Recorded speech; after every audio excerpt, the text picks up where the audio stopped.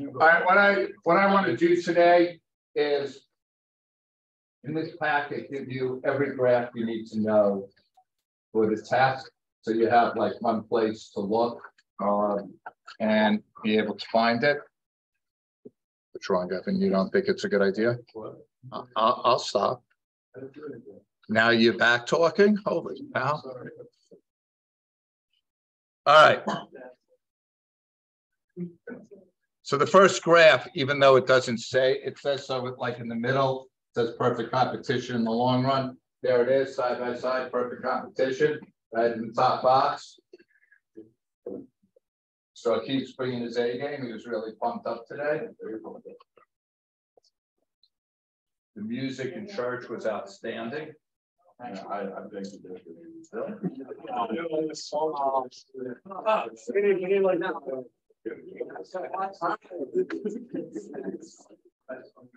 Yeah, I know, I don't know why we don't need all of I don't know, but-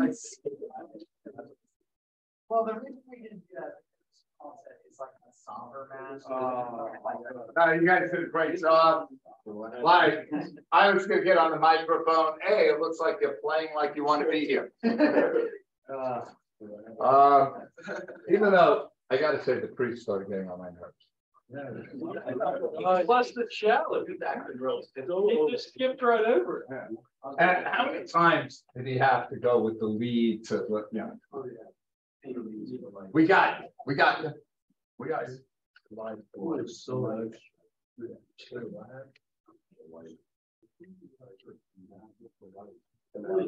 Oh, no, but he was like inside of this and he kept starting. Okay. All right, but otherwise, it's beautiful mass, beautiful music. I will say when you walk into. Michael Ross is a lot. Oh, he just, Ah, yeah, someone woke Uh, you got a donut? You can't eat before mass. Well, he's not singing. Like singing, he's eating communion.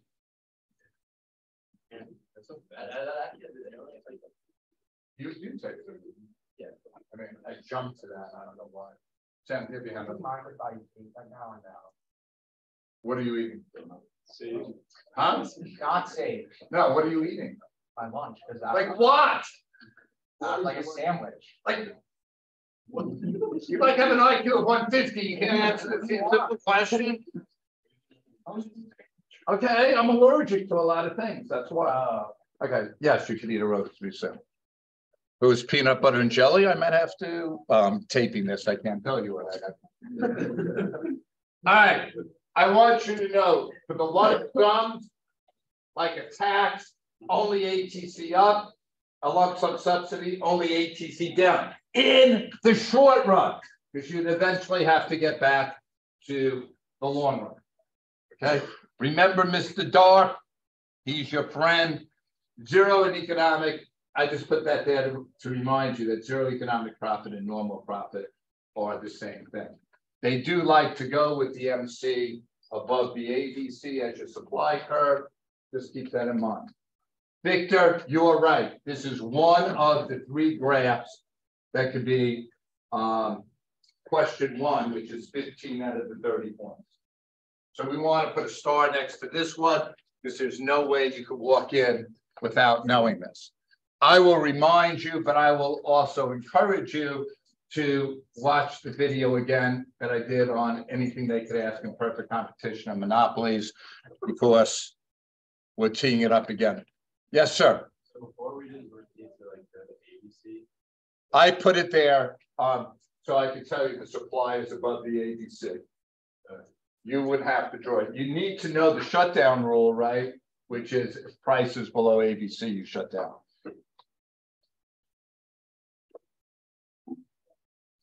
We good here? Okay. All right, I'm gonna. I'm gonna put in all the things for the price ceiling, so you know, like where, so, uh.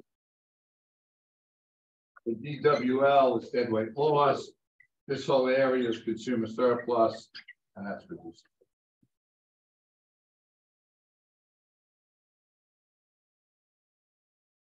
Remember, for a ceiling to be binding upside down house, it has to be below the equilibrium. If it's above the equilibrium, it's like it's not there, you just use the equilibrium. I guess that's how it goes. Uh, does everyone have a practice test? Yeah. Yes, So A is included on. I know, not. I, I think it was two days ago. Is A included? in sewer? But yes, it is, above the price, below demand.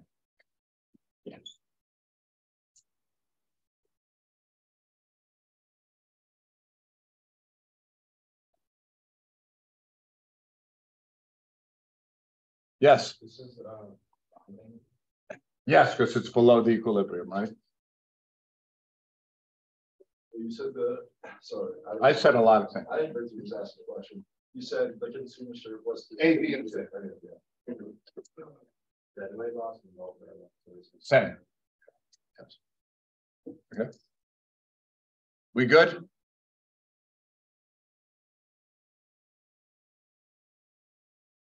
Did we start at ten, eleven thirty? We should have Dallas on the day, like.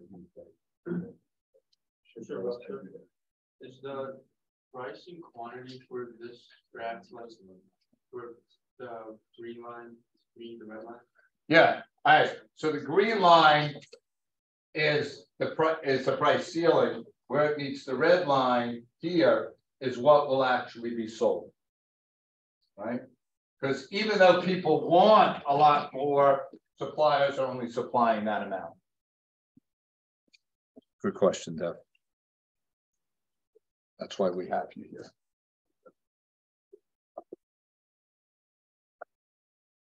All right, there we go, price floor. Upside down house, the floor is above the equilibrium to be binding. There, the consumer and producer surplus and deadweight loss are all put in. If it's above the equilibrium, you're gonna have a surplus. Below, you're gonna have a short. Minimum wage a lot of times for the price floor.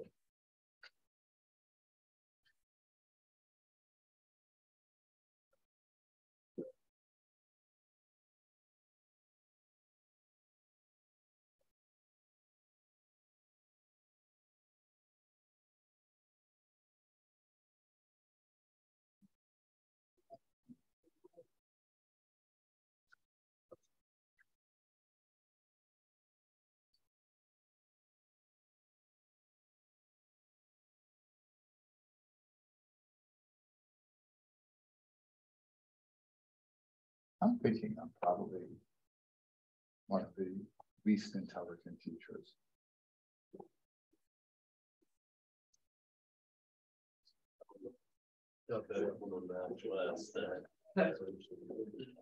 It's gonna be hard to beat. And he's got a doctorate. Yeah, so he might, I'm not, he might not teach, but he's probably smart. Do you know what I mean?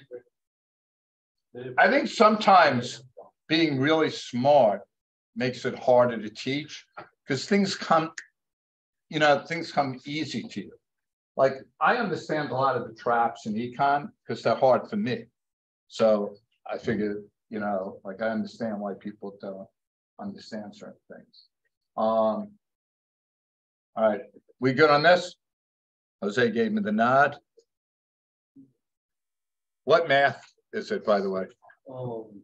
BC. Not really like understanding, it's kind of just like giving us like a hundred questions on a website for. three. And that's just signing the back, it's struggling to help the students answer the questions, but um. All right, here's my fifteen years of Calc BC. Kids never understand it, everyone passes the AP exam. Huh? Well, you, I'm talking about normal kids. Is it understandable? I think it is what you not Delta math for forty-five. Huh? I think it is what you not Delta math. They had ten. Yeah. Oh, oh, yeah, you're, you're in a different sphere. All right, here we go. Exercise time.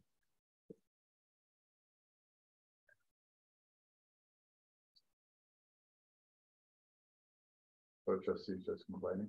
It's just dumb. Okay. That's dumb. What? All right, let's just do the excise tax. We could talk about like, you know, how bad I am. That would be an easier topic. Of course.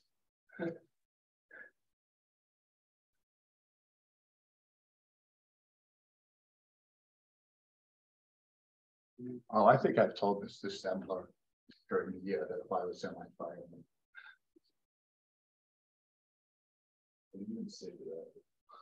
He goes, Why? Because no one's learning. You should say, um, well, that's true of the whole building. Not no one's learning, not enough people are learning. Hopefully Jake Crandall learns at eighty-four percent. It's a great day today. McDonald's was open, open. Diet Coke and apple pie. And the apple pie, they should never do what they did today. They gave me the hot apple pie hot. I now know what it should taste like. It's crazy. We did pray about a miracle today, but it was after I was at McDonald's. Um, Is the tax revenue that whole box down to, down to the original supply that? Fifth box, right? Mm-hmm. Yeah, all right, guys, also remember. If you're looking to find the tax, it's from the new equilibrium straight down to the old supply. Okay, now, it could be this line to this line, any two lines between the supply curve. Don't go from equilibrium to equilibrium. Where tax revenue is, is actually the consumer tax. And the bottom is the producer tax, right? All right, when they give you excise taxes, the questions they like to ask is, how big's the tax? How much is the consumer paying? How much is the producer paying? So be able to negotiate that out.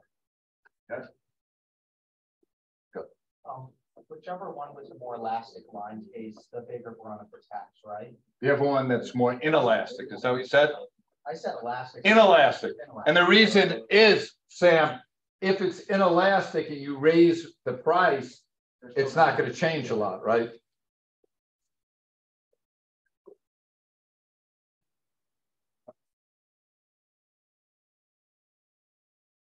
What's up next? All right, monopoly making money, second graph you need to know. I mean, you need to know more, but this could be one of the three, monopoly making money. And I'll give you a second to write that down and then I'll try to highlight the spots. You're gonna have to draw a profit or loss box. So no, it's MC equals MR, say up to demand and down to ATC, but you stay on the same profit maximizing line. The profit maximizer is your best friend.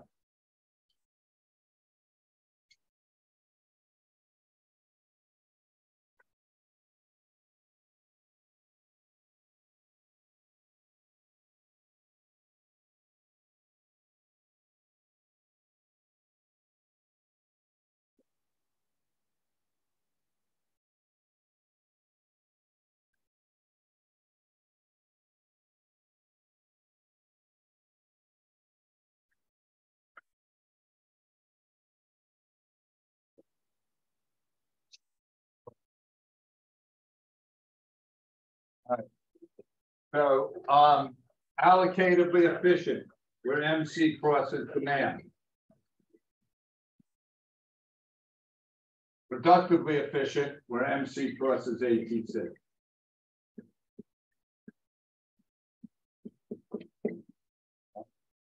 Highest total revenue on the axis. Now, I take it up at unit elastic, which is also the highest total revenue. And if I bring it across, that's just the price of the highest total revenue. Okay. Monopolies, when they profit maximize, are always in the elastic part of the curve. Since monopolies are in the elastic part of the curve, if you increase their price, their total revenue decreases. If you decrease their price, obviously, their total revenue goes up.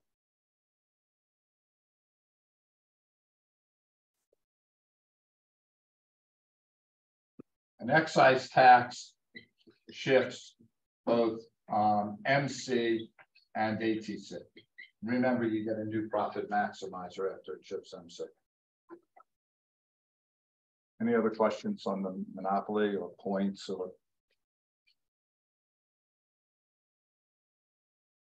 So Jenkins, you see a monopoly graph on, on the FRQ, your eyes are gonna light up, right? You go, that's ten, of- ten of ten. If I get a hundred, what's Mr. Bressler gonna get from me? An Apple, an apple pie. What's the P, is that P M T R? For what? The P M T Oh, it's P, it's highest total revenue, HTR. Sorry, my handwriting. I didn't go to Catholic school, I don't know how to write properly.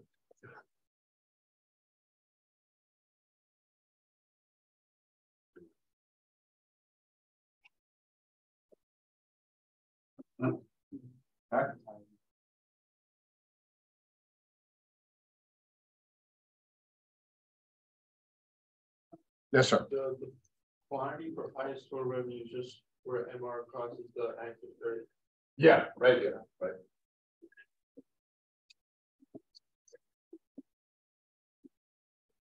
Okay. Natural monopoly, third store. Now, if it's easier for you to draw MC perfectly elastic, like a straight line across, do it. That's fine. Long as it's below the ATC. ATC is downward sloping, high fixed cost or high entry cost, think BG&E. You have to draw the MR on this one. Yes, how could you get the profit maximizer without it? Uh. Oh, it just looked like it was like grayed out. sort of. Ah, I see what you're saying.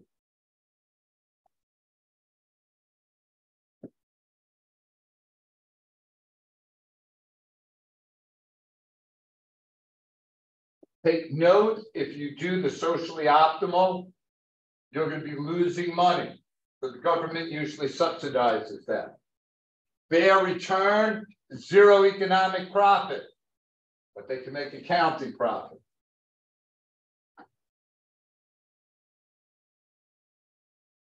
And notice, these are prices, right? It's the socially optimal price. It's the fair return price.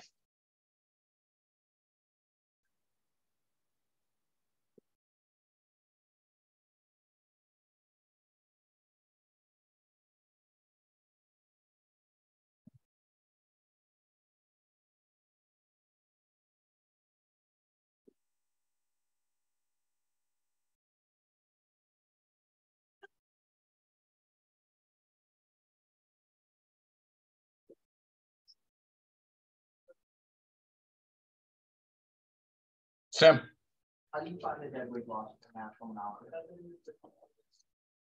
all right, so I'm going to my profit maximizer, right? Up to demand, down to MC, and back to my profit maximizer. Like, by the way, if they asked you, Sam, to, to draw this with dead weight loss, it really would make it easier for you to do if your MC was perfectly horizontal. But either way, you can do it. So you're saying go up to demand where MR equals MC. Yeah. Along to where MC equals demand and then back to your profit now. Yeah. I'll, I'll actually draw it because it's it's kind of, um.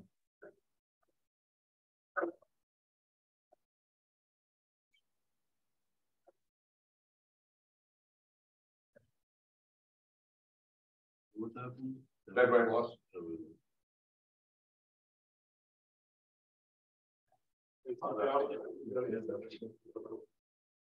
Oh, no, I, I don't like that. Perfect. No. At Hubbard, yeah, that should weight loss. Do you want it again? All right, from here, here, here, It, it really should be on that yellow line. Follow MC.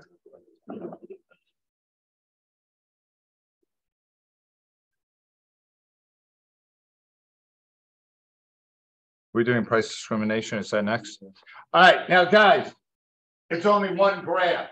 I just wanted to show you the difference between a regular monopoly and a price. All you really need to know is this graph here for price discrimination.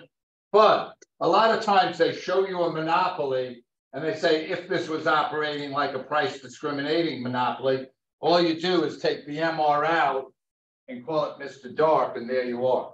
So to the right, to your right is the price discrimination monopoly. That's the only one you really have to put in that box. Remembering no consumer surplus, no dead weight loss, and Mr. Dark. Is that Mr. Dark is in price discrimination and perfect competition. Otherwise, it's just dark.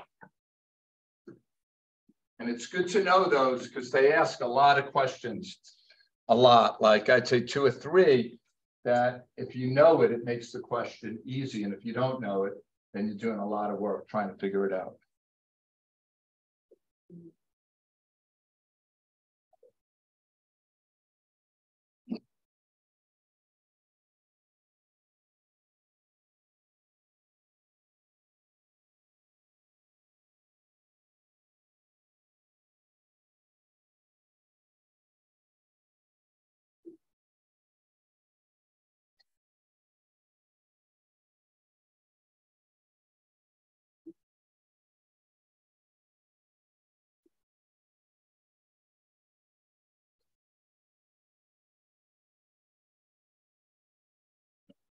Again, notice much bigger profit and more quantity.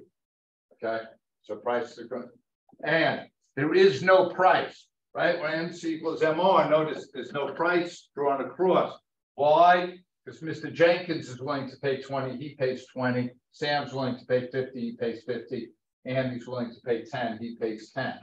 If they were asking you, what is the total revenue? Here's the total revenue I don't call it a box, but this is the total revenue. All this is total revenue, everything to the left of the red line. Okay. Arbitrary. A good question.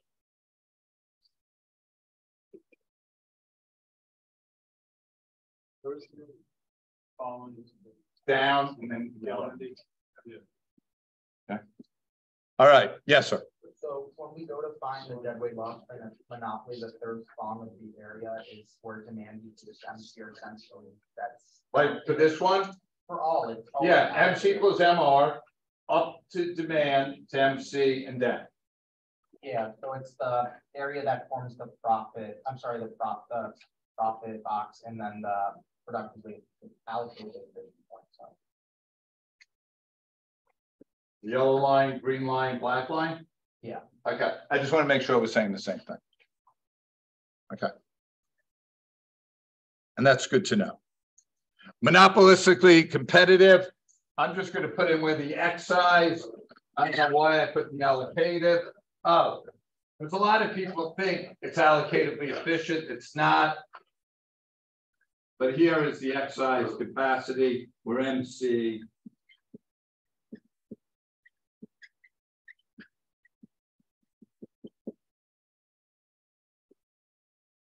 Remember, zero economic profits. That's also productively efficient, but it's called excess capacity in the long term.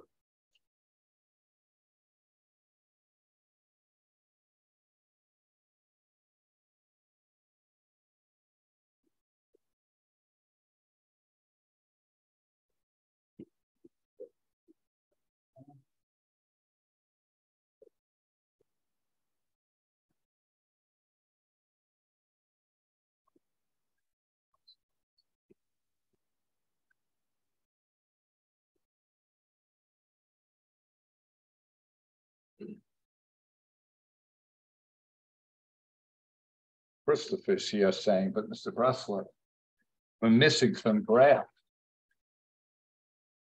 right, for oligopoly, we only need game theories. You don't need a graph. Flip, flip over to the blind right spot. It's Christopher's yelling at me, so I'll put, I'll add two more graphs. What's missing, Lee? Um, You think about it. Did you have a question? Excess capacity, that's the quantity where MC equals ATC minus the profit. No, it's say where MC equals ATC, draw that down. Let's call that QE. It's a difference from QE to QLR. The difference between the quantity where ATC equals MC minus the profit maximized. Yes. Okay. So it's what you could be producing, Sam, if you were efficient compared to what you are producing. Productive rate, right? Right. The, uh, the P- the PPC graph and supply and demand. Okay. You're right. I forgot all about the PPC. I figured like if you can't graph that one, um, God bless us all. Um, no. How about side by side?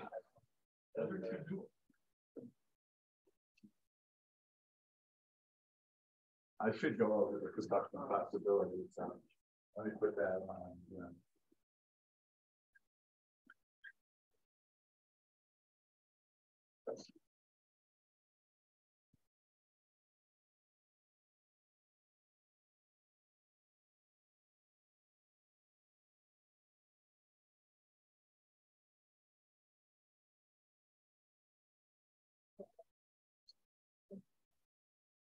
Jenkins, you got the last graph that's missing?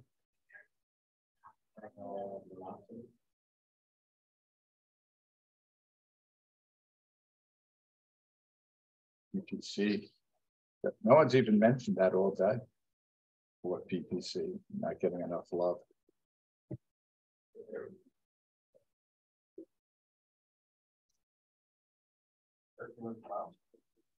You don't have to draw that. The households and that's a good one though, Sam. All right, here is your monopsony. Yeah, yeah, yeah, yeah. Take it easy, Victor. Okay, get all snippy.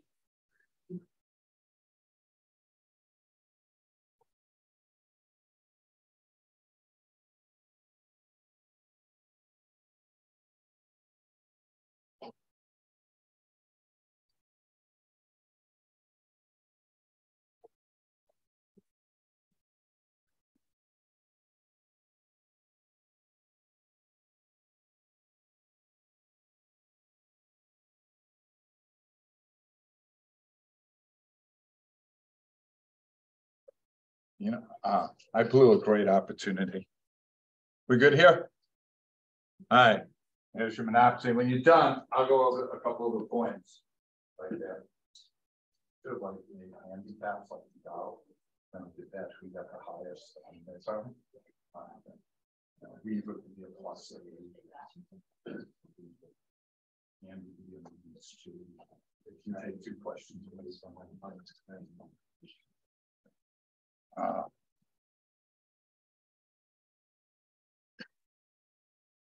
That'd be fair, and everyone could just like.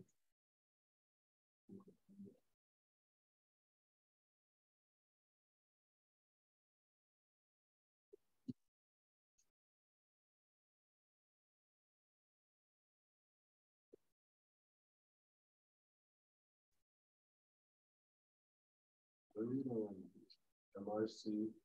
was in the- Okay, no, it is. Okay, thank you. That really should be MRC or MFC. This is supply. All right, just remember the profit maximizers, MRC equals MR down to supply. The W three is the actual weight. Now, in both monopsonies and monopolies, they like to say, if this firm was acting like a perfectly competitive. Well, that's what a perfectly competitive industry looks like, supply and demand. So it would be perfect competition would be W1 and Q1. That'd be perfect competition. And then the highest a union could get without losing workers would be double W two, What's, what's the with W was? The regular monopsony wage. Because you gotta take it down to supply. Okay. What is W one? That would be if it was operating like a perfectly competitive firm.